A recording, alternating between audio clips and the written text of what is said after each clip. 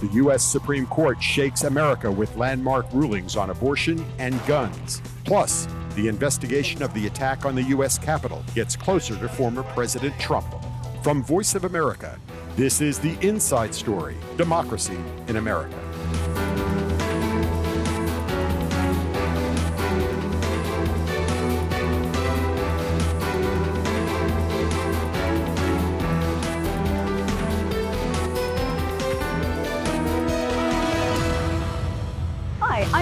Gypson, VOA's congressional correspondent. Over the last several weeks, it seems no other news beat in America has been busier with important developments about democracy in the United States than covering Capitol Hill. Through the month of June, a special committee from the House of Representatives presented eye opening findings from its investigation into the attack on the U.S. Capitol on January 6, 2021. And as Congress agreed to the first nationwide gun safety law in 30 years, the Supreme Court overturned its 1973 ruling that guaranteed women across the country the right to get an abortion. So let's start there with the contentious issue of abortion. The justice's decision and the political impact of having the nine member Supreme Court take away a right from half the American population in the name of protecting the unborn. Our Laurel Bowman begins our coverage of the reversal of the landmark legal case Roe v. Wade. Anti abortion advocates across the U.S. celebrate their win. The U.S. Supreme Court released its much anticipated decision overturning Roe v. Wade, the 1973 landmark case that gave constitutional protection to women seeking abortions. We are here to help you. If you are pregnant, if you are parenting, if you are in need of support. We're here to celebrate. We're so overjoyed with the decision of the court to overturn Roe v. Wade. It's something that we've been fighting for for decades. In a speech just after the announcement, Democratic President Joe Biden rallied his political base and tried to ease the fears of abortion rights advocates. He also called on Congress to enact a federal law codifying a woman's right to choose an abortion. It was three justices named by one president, Donald Trump, who were the core of today's decision to upend the scales of justice and eliminate a fundamental right for women in this country. With this decision, the conservative majority of the Supreme Court shows how extreme it is, how far removed they are from the majority of this country.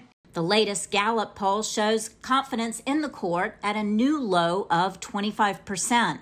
In the 6 to 3 majority opinion, conservative Justice Samuel Alito, appointed by U.S. President George W. Bush, wrote The Constitution makes no reference to abortion, and no such right is implicitly protected by any constitutional provision, including the due process of the 14th Amendment.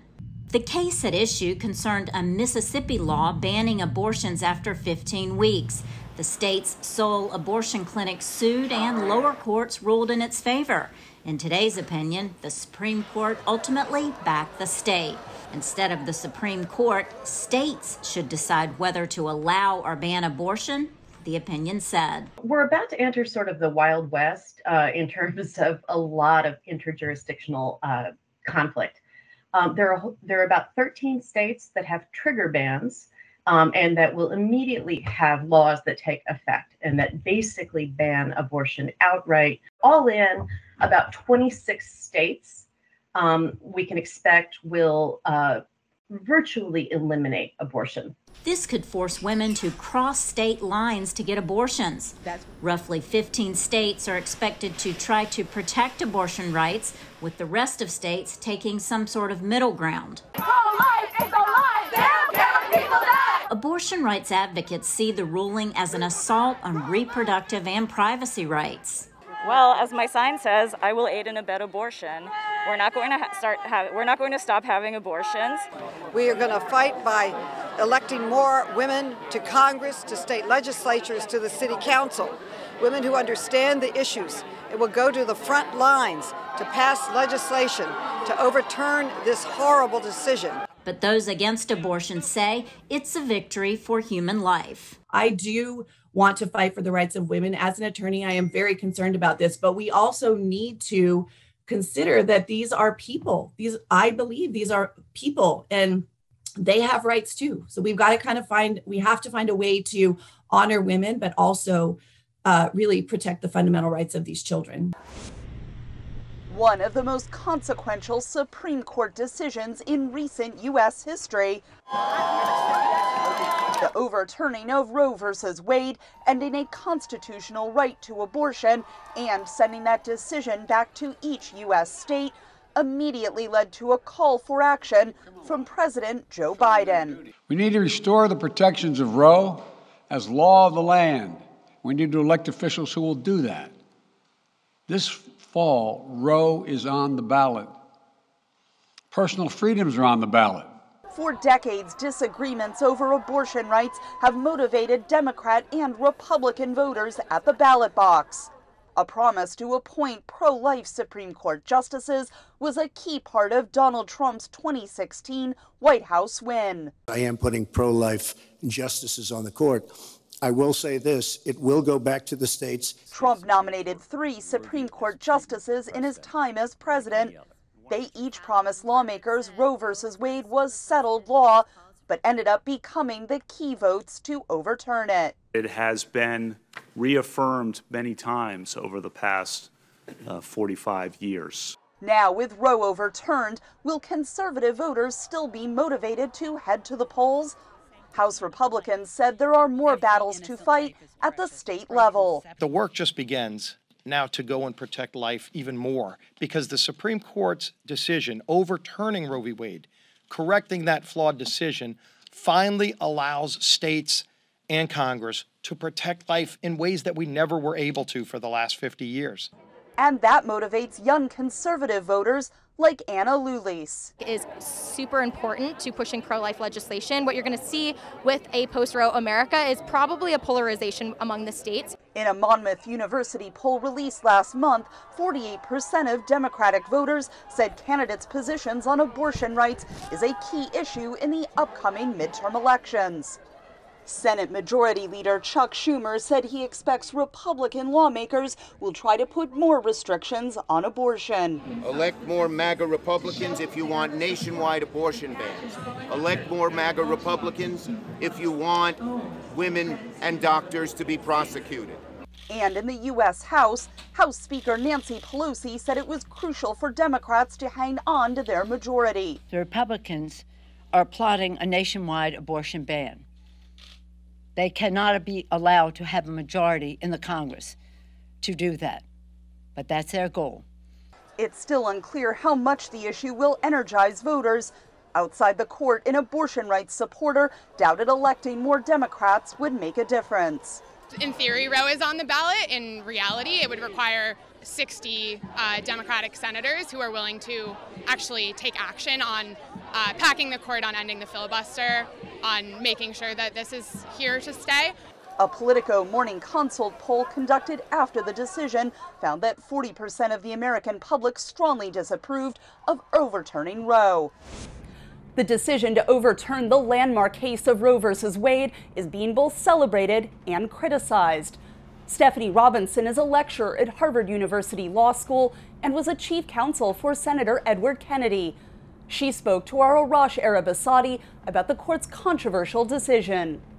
What's happening right now is that this minority rule by conservatives is happening in this court when we see that this is not where the majority of this country wants to go, nor is it where the majority of this country is. They're looking for cases to be able to overturn and to be able to put in place the agenda that is extraordinarily conservative um, for this country going forward.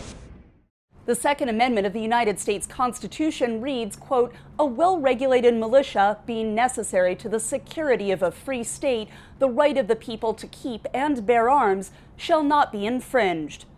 That right to keep and bear arms and how it's been interpreted by the courts has been at the heart of the gun control debate in the United States for decades. From the political assassinations of the 1960s to the reoccurring mass shootings of this century. A mass shooting in May at an elementary school in Uvalde, Texas, Killing 19 children and two teachers was a catalyst in getting Congress to find compromise for a gun safety law that guarantees millions of dollars for mental health, school safety, crisis intervention programs, and juvenile background checks. It receives support from Democrats and Republicans.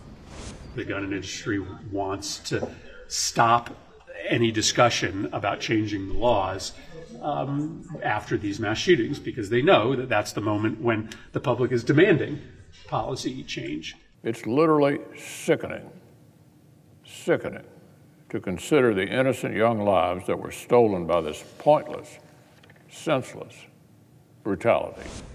President Biden signed the bill into law, but that's not going to stop the debate over guns in America. The Supreme Court weighed in last week by saying New York's restrictions on who can carry a concealed gun is unconstitutional. Let's go back to Stephanie Robinson, Harvard University Law School lecturer. She talked to our Arash Arabasadi about guns, the law, and the Second Amendment. We're at this incredibly rare moment in the United States where there's some bipartisanship for the most meager of gun regulations signed by the president and then the supreme court puts that out. Like like as if to say doesn't matter. I mean it is the supreme court more right than congress passing a bill? Well, the supreme court would say to you um, that that's not their job. I mean that their job is not to do this their job is not to legislate.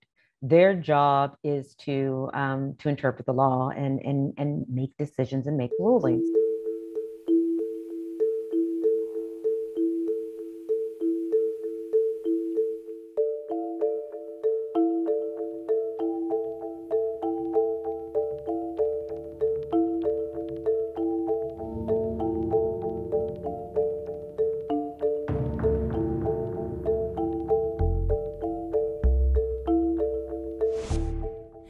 casting a shadow over the American political landscape for the past 18 months is the attack on the U.S. Capitol on January 6, 2021. A select committee of nine members of Congress has been investigating what happened and why.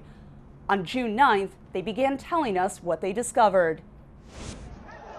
With intense and previously unseen video, and in testimony from a documentary filmmaker and a U.S. Capitol police officer who suffered a traumatic brain injury. I saw friends with blood all over their faces. I was slipping in people's blood. Six Democratic and two Republican lawmakers made public for the first time their year long investigation into the January 6, 2021 breach of the U.S. Capitol. It was domestic enemies of the Constitution who stormed the Capitol and occupied the Capitol, who sought to thwart the will of the people to stop the transfer of power. And so they did, so at the encouragement of the President of the United States. President Trump summoned the mob, assembled the mob, and lit the flame of this attack. You will also hear about plots to commit seditious conspiracy on January 6th, a crime defined in our laws as conspiring to overthrow, put down, or destroy by force the government of the United States. Investigators said that on election night 2020, the president insisted on declaring victory. This is a fraud on the American public. We were getting ready to win this election. Frankly, we did win this election. Despite warnings from his top campaign advisors. It was far too early to be making any calls like that. Um, ballots, ballots were still being counted. Ballots were still going to be counted for days. Um, and it was far too early to be making any proclamation like that. With the exception of a campaign lawyer, former New York City Mayor Rudy Giuliani, who witnesses said was drunk that night. Mayor Giuliani was saying, We want it. They're stealing it from us. Where'd all the votes come from? We need to go say that we won. And essentially, that anyone who didn't agree with that position was being weak. Former Attorney General Bill Barr, the nation's top law enforcement official at the time of the 2020 election, testified the president had continued with false claims of fraud in the weeks after election night, even after it was clear he had lost. I was somewhat demoralized because I thought, boy, if he really believes this stuff, he has, you know, lost contact with uh, with uh, he, he's become detached from reality if he really believes this stuff. You know, when I went into this and would, you know, tell him how crazy some of these allegations were, there was never there was never an indication of interest in what the actual facts were. Election officials from three key states and an election lawyer from the Republican Party also said the Trump campaign's subsequent attempts to prove fraud in court were unfounded. The simple fact is that the Trump campaign did not make its case. New details showing the danger to Vice President Mike Pence's life on January 6, 2021. Rioters just 40 feet away from Pence after he refused former President Donald Trump's baseless demand to overturn the 2020 election results. If Mike Pence does the right thing, we win the election. Pence's advisors described how Trump pushed conservative attorney John Eastman's false theory that a U.S. president can reject or delay election results. It made no sense to me that in all the protections that were built into the Constitution for a president to get elected and steps that had to be taken, that the power to choose the next president would be sitting at, with the vice president. Pence's advisors told the vice president he did not have that power and warned of the consequences. That declaration of Donald Trump as the next president would have plunged America into what I believe would have been tantamount to a revolution within a constitutional crisis. Despite the fact that the vice president consistently told the president that he did not have and would not want the power to decide the outcome of the presidential election, Donald Trump continued to pressure the vice president, both publicly and privately. Pressure that culminated in Trump's tweet on the afternoon of January 6, criticizing Pence.